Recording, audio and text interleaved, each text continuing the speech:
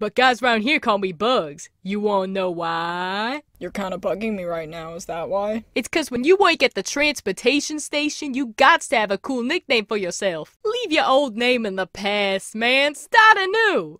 Literally no one else here goes by a nickname. Well, right now it's just me doing the whole nickname thing, but I'm trying to get everyone else on board too.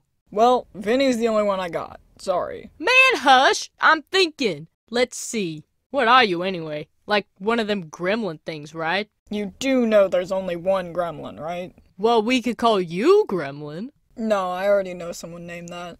Man, really? Dang. Okay, well, what else you got going on here? Hmm.